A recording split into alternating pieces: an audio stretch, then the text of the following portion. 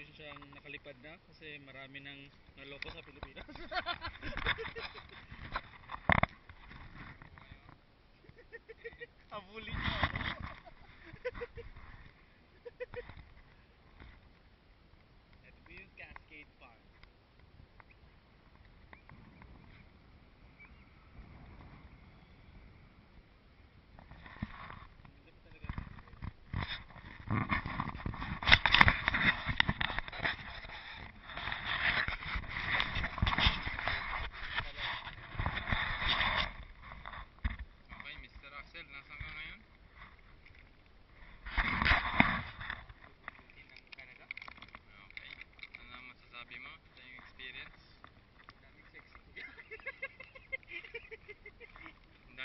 nadaan ng mga nakawa?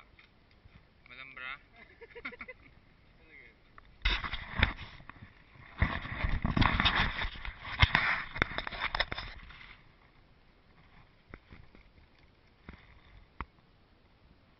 Ganda ng bukid ano. Pero normal lang talaga dito sa kanila yung ganito no? Na view. Kahit nakita ko yung sa ano, di ba si Pierre pumunta na Alaska? Oo. ganito din yung mga mga view nila dun. Pero marami ding ano, parang dagat, dagat, dagat.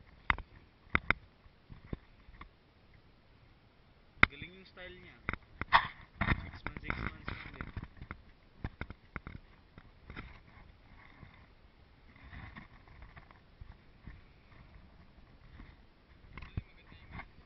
Oo. Lipat na naman. Naka, naka-experience ka na nung sa isang lugar. Ganoon naman talaga sa mga puti eh. Di ba? Oo nga.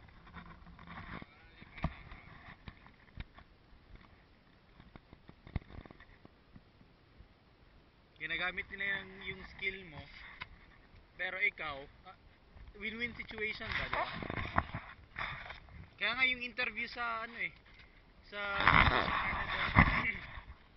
yung yung iba, yung mga line ko, dito lang ako kasi may snow. Kasi gusto ko mag-snowboard.